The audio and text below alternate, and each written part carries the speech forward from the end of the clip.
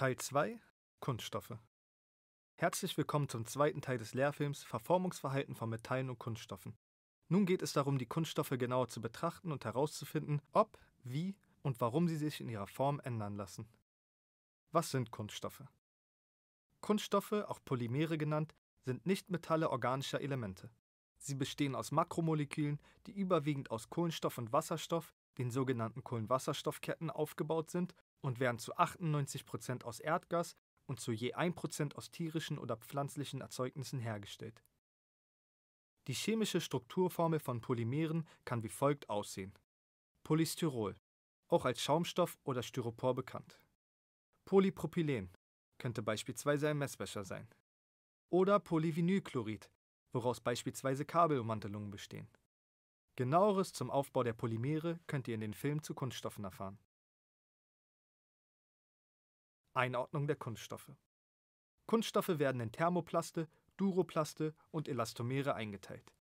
Jeder dieser Kunststoffe hat einen eigenen inneren Aufbau, der die typischen technischen Eigenschaften von Polymeren wie die Formbarkeit, Elastizität, Härte, Bruchfestigkeit, Wärmebeständigkeit, Temperaturbeständigkeit und chemische Beständigkeit beeinflusst. Wie gut lassen sich Kunststoffe verformen? Um zu verstehen, wie sich Kunststoffe dauerhaft verformen, müssen wir uns Gedanken über deren Aufbau machen. Polymere bestehen wie gesagt hauptsächlich aus Makromolekülen, den Kohlenwasserstoffketten, also einen Aufbau immer wiederkehrender Grundeinheiten aus hauptsächlich Kohlenstoff und Wasserstoffatomen. Die Verknüpfung der Kohlenwasserstoffketten untereinander ist jedoch für jede Polymergruppe unterschiedlich. Je nachdem, ob es sich um Duroplaste, Thermoplaste oder Elastomere handelt, treten verschiedene Verformungsverhalten auf. Was sind Thermoplaste? Ein Thermoplast hat die Eigenschaft, dass dieser bei einer bestimmten Temperatur durch Krafteinwirkung vor allen Dingen plastisch verformbar ist. Beispiele thermoplastischer Polymere sind PET-Flaschen, Polyethylenplastikbeutel, ABS-Lego-Bausteine und Polyamidfasern. Thermoplaste bestehen aus langen Aneinanderreihungen von Monomeren, den einzelnen Kohlenwasserstoffgruppen. Da ein Monomer nur zwei funktionelle Gruppen hat, lässt sich auch nur eine lange Gruppe, also eine Art Kette, über die CC-Verbindungen bilden. Innerhalb dieser Ketten sind die Atome fest durch die Atombindung der Kohlenstoffe gebunden. Die Ketten untereinander sind jedoch nur schwach über Wasserstoffbrückenbindungen der jeweiligen funktionellen Gruppe, meist der Wasserstoffatome, gebunden. Diese Ketten bilden ein Knäuel, das sich sowohl durch geordnete kristalline und ungeordnete amorphe Bereiche auszeichnet. Je mehr kristalline Bereiche, also geordnete Kettenverläufe ein Thermoplast besitzt, desto härter und spröder ist er.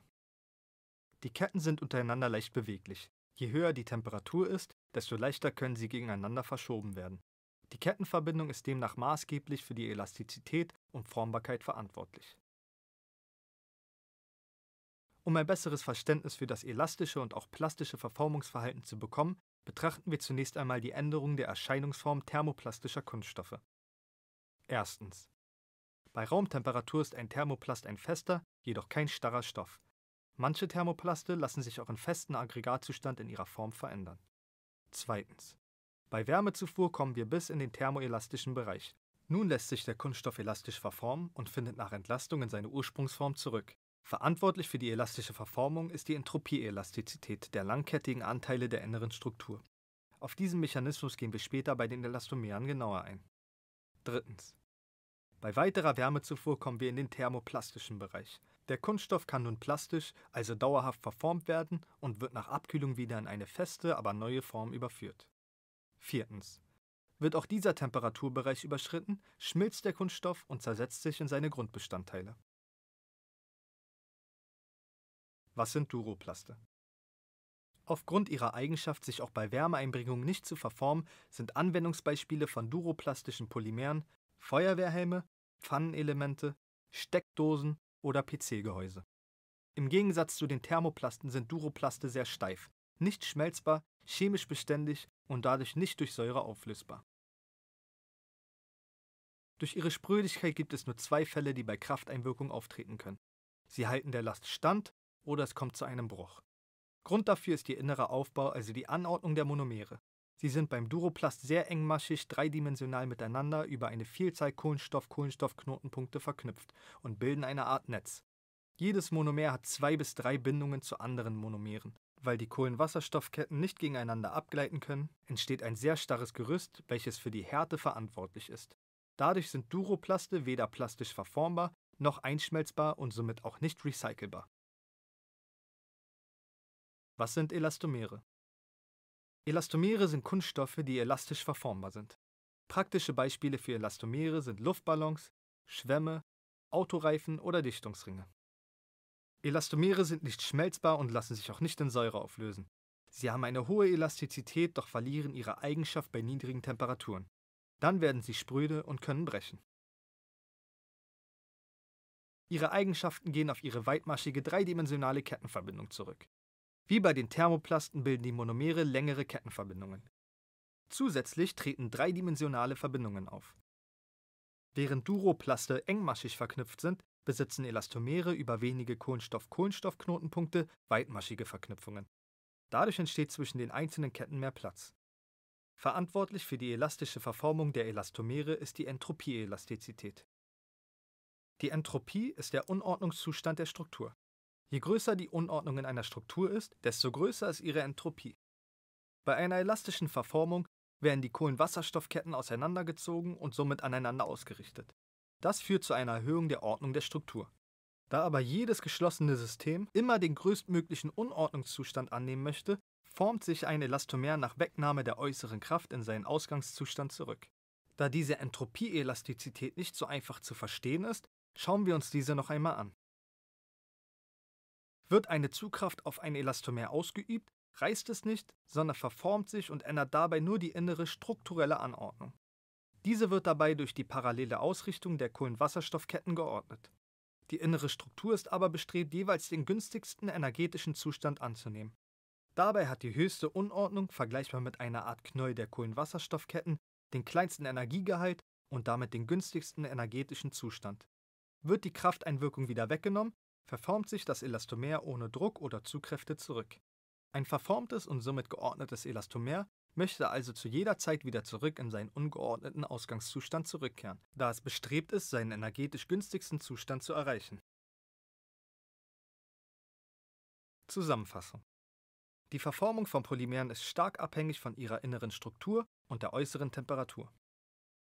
Die elastische Verformung beruht auf der Entropieelastizität, während die plastische Verformung auf der Möglichkeit des Abgleitens ganzer Kohlenwasserstoffketten beruht. Handelt es sich um ein Thermoplast, so sind lange, nicht verknüpfte Kettenverbindungen für die Formbarkeit verantwortlich. Je nach Höhe der Temperatureinwirkung ist ein Thermoplast elastisch oder plastisch verformbar.